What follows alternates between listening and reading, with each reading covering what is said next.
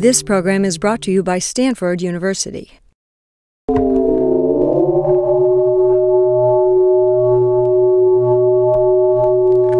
Stanford Mobile Phone Orchestra, or MOPHO, spelled with a PH as we call it, um, is an experimental ensemble that we've started here at CCRMA. The phone's generating the sound, and then the sound is being amplified by these speakers that we're wearing. So the piece you just saw and heard is a piece called Drone for the Mobile Phone Orchestra. We're synthesizing sound on the phones. You know, it's this this is one piece of modern technology that's becoming so ubiquitous that it's it's taken a life of its own.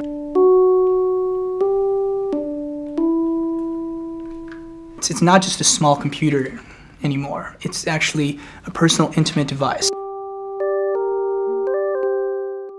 Because it's so pervasive, there's just incredible social possibilities. This musical instrument is called ocarina, and it's actually made by a startup company I co-founded in July of 2008. And the ocarina literally transforms your iPhone into a 12,000 year old flute like wind instrument, preserving all its interactions. So I'll give you a quick demo here. What I'm going to do is hold the phone as if I'm holding a sandwich. And then I'm going to blow into the microphone located at the bottom of the phone.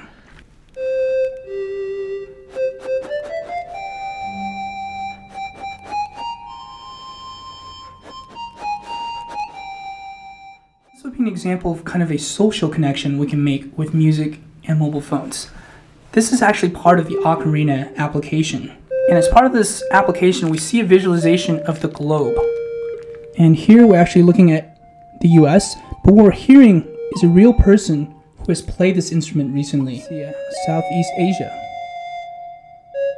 Playing Happy Birthday. You know, I think that is really leading to, to, to this notion of perhaps more of a, of a global community of musicians uh, that's, that's really truly connected through this new technology.